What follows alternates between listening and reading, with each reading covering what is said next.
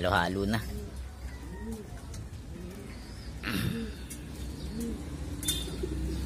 May isang itim, dalawang pula. Ayan, may mga off color tayo. Okay, dami, 12.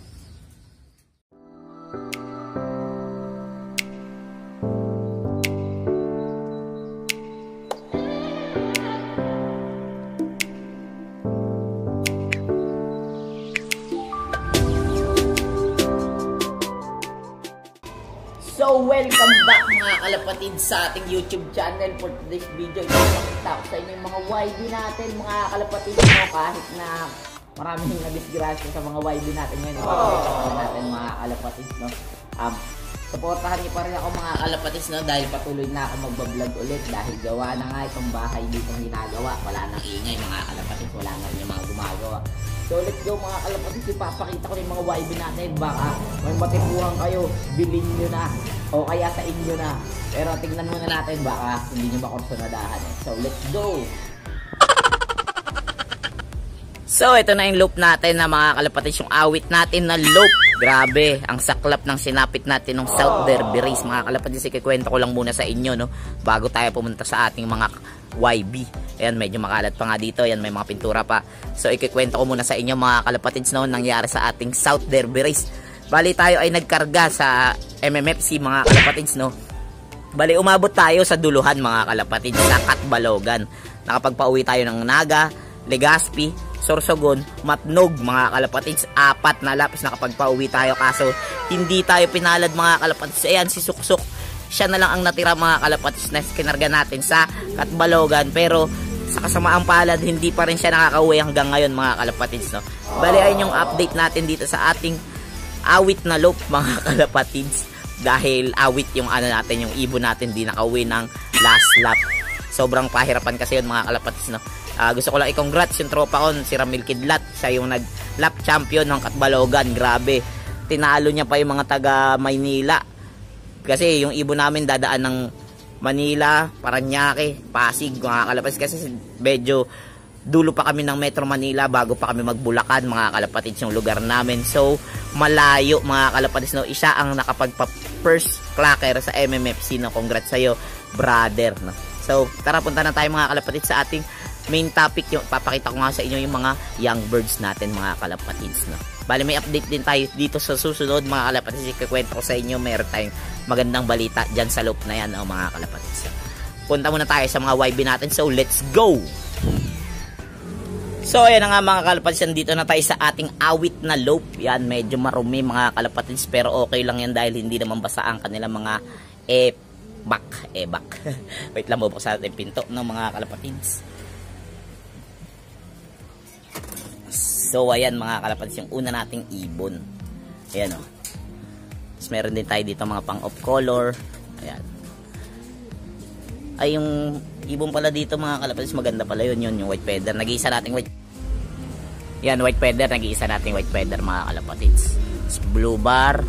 Meron din tayo dong itim. Ala, nagpares yung itim at saka yung ano, yung brown mga kalapatids. Bata pa yan.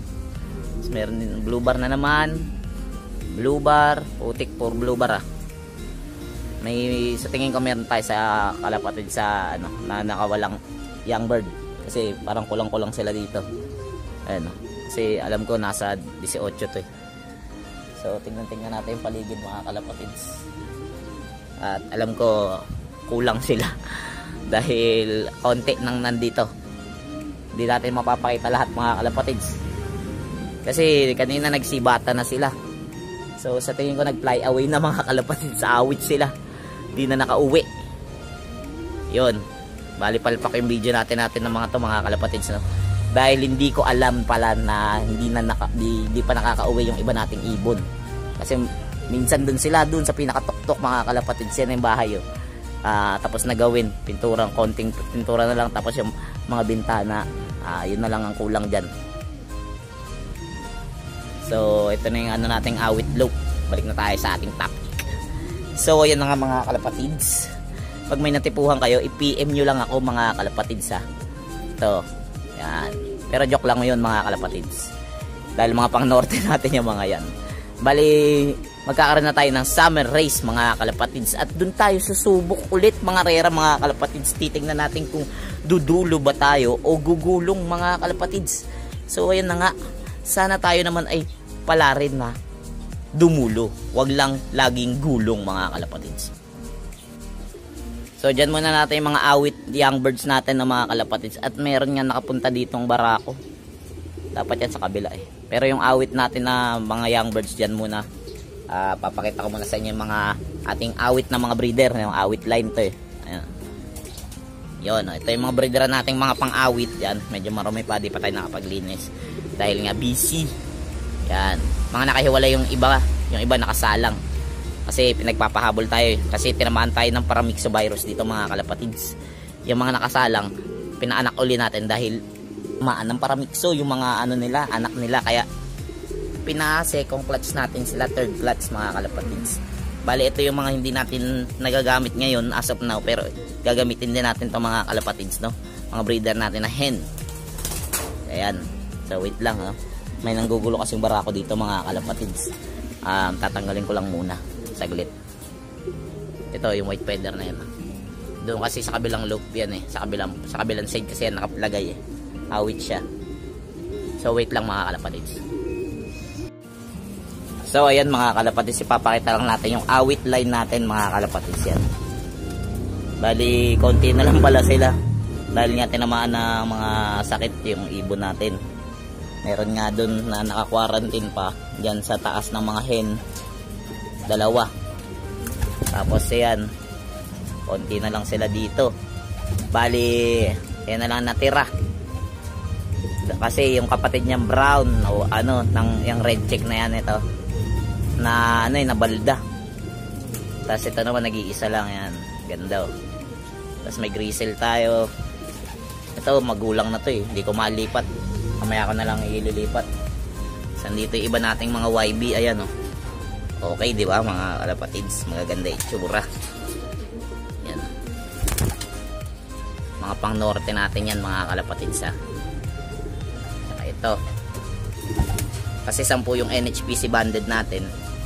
Kaso nga lang may tatlo pa tayong sisingsingan no mga kalapatids dahil nga namatay yung iba nating young birds tapos doon naman ginawa nating pang motivate yun no yung single cage doon sa ano sa kabilang loop kasi kak yung panglaban natin pinarisa natin siya kaso nga lang awit hindi na nakauwi so ayun mga kalapatids no yan, update ko lang. Ito yung update ko sa inyo sa ating mga young birds. So, ayan mga kalapatids at na-update ko na kayo sa aming mga young birds. Bali, oh, ano na lang to, mahigit kumulang-kulang na lang mga kalapatids. No? Ano sa mo? Ah, kulang-kulang, no? Medyo kulang. Bali, konti na lang to, mga 12. Nagsimula tayo sa 18, mga kalapatids. Ngayon, ayan.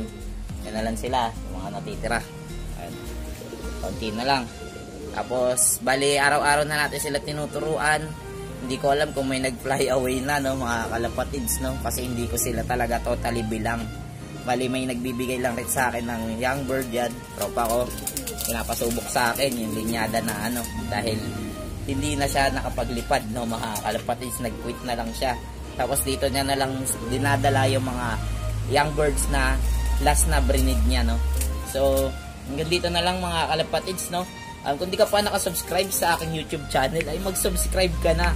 Hit mo na rin yung notification bell para updated ka sa mga upcoming videos ko, mga kalapatids, no? Pagka pa ano tayo mga kalapatids na monetize tapos nagkaroon tayo ng AdSense pin uh, magpapamigay na tayo ng mga young birds natin nakakahiya pa kasi magpamigay mga kalapatids na mo nakaraang South Derby race, gulong tayo mga kalapatids, di tayo nakapagpadulo.